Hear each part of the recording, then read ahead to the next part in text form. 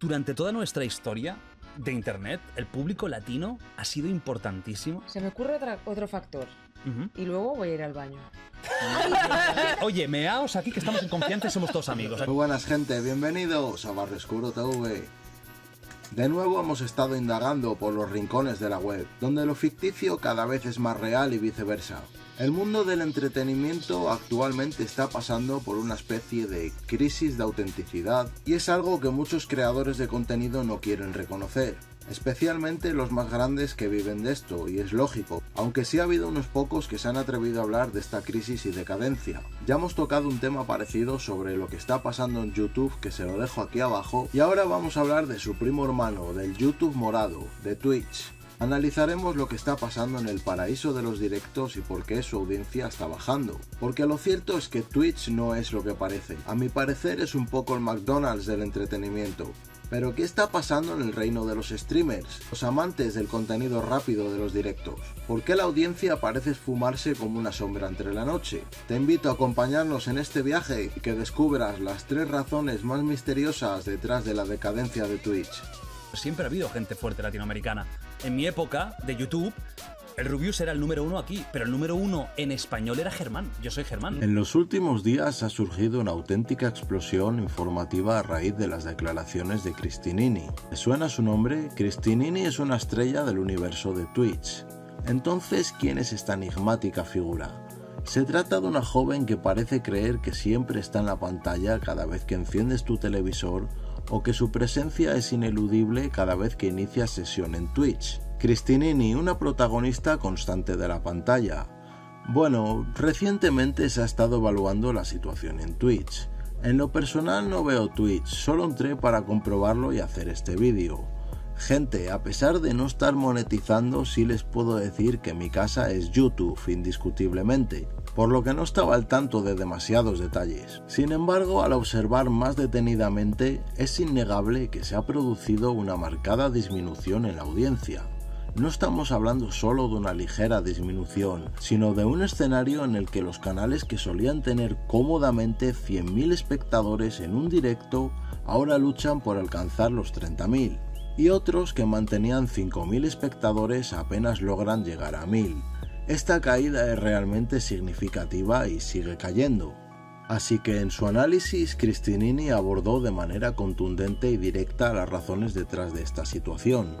Ella identificó tres factores. Ahora profundizaremos un poco en ellos. Muchos de nosotros no estamos tan inmersos en el mundo de Twitch y su contenido de comida rápida. Pero Cristinini plantea tres razones. Y mientras que algunas de ellas pueden resonar en nosotros, otras quizás no tanto. Empecemos por su primera observación. Cristinini sugiere que la audiencia se está empezando a saturar, es decir, que se siente abrumada por la sobreexposición a ciertos streamers o contenido. Ya saben, como Ibis o Chocas, por ejemplo, y que está cansada de los supergigantes que son omnipotentes. Esos que ya tienen plata para tres vidas y que aún así siguen ahí. Dígase Ibai, Auron, etc. En pocas palabras, ya ha surgido cierta fatiga en la comunidad. La audiencia se harta. Y por último, pero no menos importante, hablemos de Latinoamérica. En los últimos tiempos ha surgido un auténtico auge de streamers latinoamericanos. Muchos quieren caras nuevas, quieren nuevos creadores y ver cómo estos evolucionan y perseveran dentro de las plataformas y el mundo del entretenimiento. Por lo que debería haber más youtubers españoles y latinoamericanos que sean emprendedores y abran su propio canal. Siempre puede ser una gran oportunidad si lo miramos con esos ojos.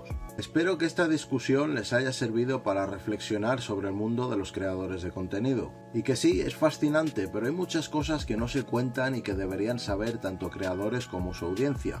La influencia ejercida por una parte y cómo nuestra atención se mueve constantemente en búsqueda de nuevas experiencias, nuevas caras, nuevas voces diferentes y todos aquellos que pongan dedicación aunque no sean los mejores y que estén constantes trayendo contenido. Eso también es una forma de reinventarse, es una forma de ser una mejor versión de uno mismo, porque en un mundo saturado de información muchas veces tenemos que desconectar y volver a compartir con nuestra gente cercana. Compartir conversaciones interesantes y momentos mientras reevaluamos nuestras propias preferencias. Así que ya saben gente, nunca está de más empezar de cero, reinventarse y atravesar nuevos caminos, ya que al final del día somos los dueños de nuestra atención y elección. Así que te animo a explorar, a probar nuevos creadores de todos los niveles, para que veas que siempre hay canales interesantes de todos los tamaños. Algunos de los grandes canales todavía no los han comprado, por lo que siguen ofertando un contenido interesante. Por supuesto, también valoren lo que tienen cerca.